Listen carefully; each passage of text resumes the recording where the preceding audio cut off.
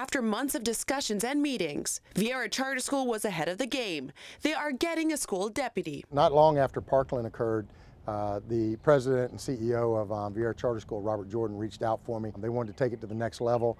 They wanted to talk to us about getting a school resource deputy. As Assistant Principal Tom Armstrong explains, Viera Charter School is stepping up their game. We're increasing our fences.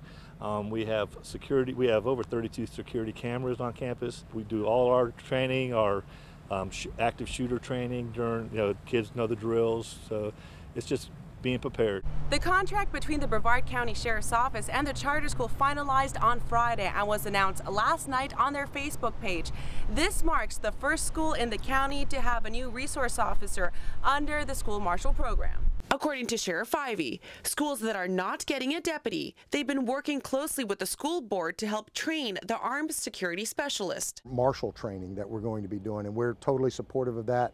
We're going to be working with them to make that happen. Um, time is time is our enemy right now. There are about seven to ten deputy positions that will be filled, and the rest of the estimated 18 positions will be filled with armed security specialists. Armstrong says while both options provide security, there's no comparison to having a real deputy on campus. A real deputy legitimizes that we're serious about safety.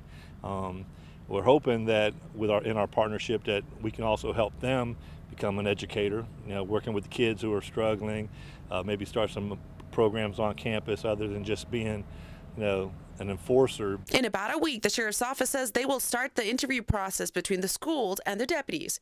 In previous school board meetings, officials say it would have taken about three years to get a school deputy at every school. In Viera, Krystel Knowles, Spectrum News 13.